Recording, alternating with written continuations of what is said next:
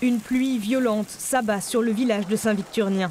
En peu de temps, la commune s'est retrouvée inondée, voitures bloquées, terrain éboulé, les habitants sont sonnés.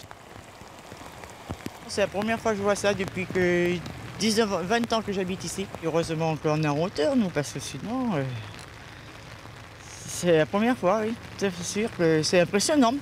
Alors que l'eau s'écoule, les dégâts matériels apparaissent, comme la chaussée de cette rue soulevée par la puissance du phénomène. Dans les habitations aussi, il faut vider les caves et pomper l'eau des rez-de-chaussée. Ben, on essaye d'être un petit peu partout, de rassurer les gens, puisqu'on a, on a des habitations qui sont inondées. On avait un mètre d'eau à peu près dans la rue principale de Saint-Victurnien. La voie ferrée est également touchée.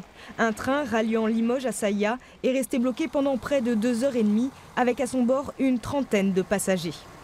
Peur non, mais on voyait l'eau qui montait quoi. On est resté bloqué euh, juste après Saint-Victorien, on a fait des photos. Pardon. Et, euh, et on a fait demi-tour, on est revenu sur place. Merci à vous. L'inondation laisse derrière elle beaucoup de gravats. Très rapidement, les habitants s'organisent pour déblayer les rues et éviter que les pierres bouchent les canalisations. Tous les voisins sont, sont portés volontaires, même des gens extérieurs à la rue sont venus tout de suite euh, se présenter pour voir s'ils pouvaient être utiles à quelque chose. Voilà. Ça fait, ça fait plaisir, ça fait du bien de, de voir que tous les gens, même, même ceux qui ne sont pas de la rue, viennent, euh, viennent nous donner un coup de main. Les pompiers sont intervenus à plusieurs reprises dans la soirée. Aucune victime n'est à déplorer.